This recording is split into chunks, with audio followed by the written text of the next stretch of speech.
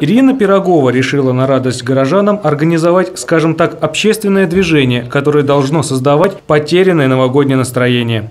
Каждый участник акции выступает в двух ролях. Он же Дед Мороз и он же внученька. В тот момент, когда я дарю свой подарок вот своей внученьке, она превращается в Деда Мороза и дарит свой подарок своей внученьке. В этом-то и заключается суть акции анонимных Дедов Морозов. Акция в Рязани проходит впервые, и пока что на призыв Ирины откликнулось несколько десятков человек. Специально для потенциальных участников было создано сообщество в соцсети ВКонтакте, в котором организаторы акции разобьют их по парам. Самое главное, что никто из них не должен знать своего Деда Мороза.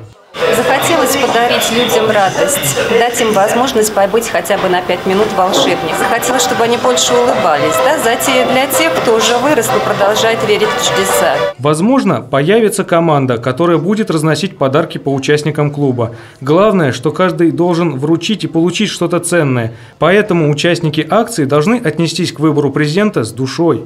А, взрослым людям часто не хватает новогоднего настроения, хочется себе его поднять таким образом. И как бы в Рязани эта акция проходит первый раз, вот очень интересно поучаствовать.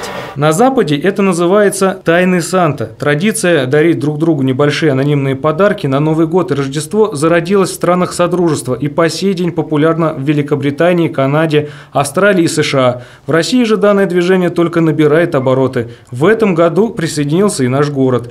И как отмечают участники клубов анонимных Дедов Морозов, в других городах порой дарить подарки приятнее, чем их получать. Иван Крестьянинов, Денис Беляев, телекомпания «Город».